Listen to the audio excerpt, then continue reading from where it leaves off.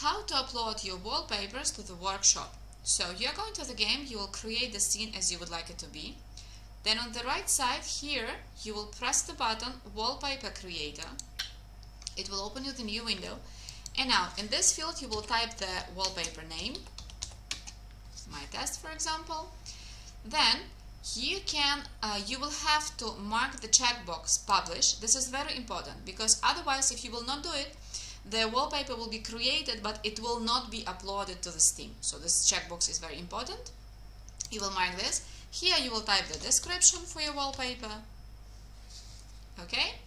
Now you will have to mark the categories, the checkboxes for the categories. So for example, the anime for my case, and here will be the girl also, and the television. So I will select those variants. After that, you can uh, take off the checkbox for select all and then select only the sizes, the dimensions of the uh, wallpaper which you would like to use. So for example, I will use those.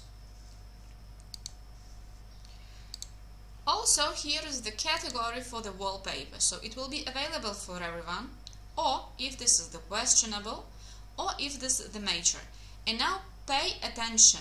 The major mean that uh, it can be, for example, dressed in the underwear, but this is not allowed to um, publish the naked characters.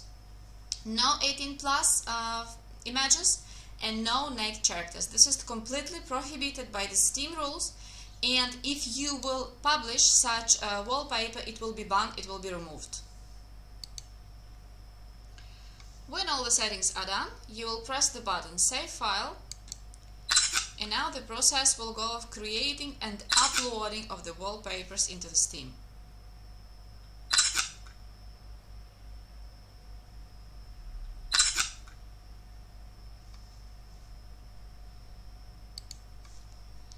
After the wallpapers has been created and uploaded to the Steam, so you will see this window again. And if you would like to see what wallpapers has been done, so you click the button Open Folder and you will see all of them here.